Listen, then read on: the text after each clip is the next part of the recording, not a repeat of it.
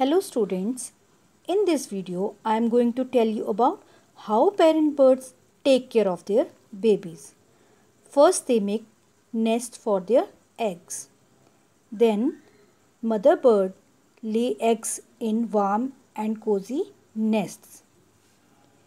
The mother bird sits on the eggs to give them warmth. Egg देने के बाद mother bird eggs के ऊपर बैठ जाती है उन्हें गर्मी देने के लिए After a few days, the small babies develop fully inside the egg and come out.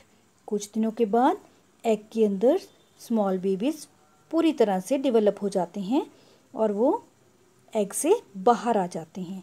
This is called hatching इस प्रोसेस को हैचिंग कहा जाता है. Birds protect baby birds from cold heat and rain both mother and father birds take care of their chicks and feed them. जैसे हमारे mummy papa, हम सबका ख्याल रखते हैं, उसी तरह से बर्ड्स भी अपने चिक्स का, अपने बेबीज़ का बहुत ध्यान रखते हैं।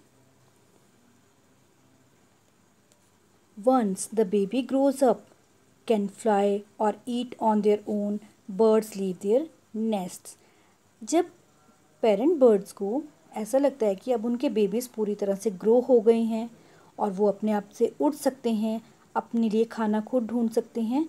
Then they leave their nest उस टाइम वो नेस्ट को छोड़ देते हैं। आई होप आपको ये कॉन्सेप्ट समझ आ गया होगा। Thank you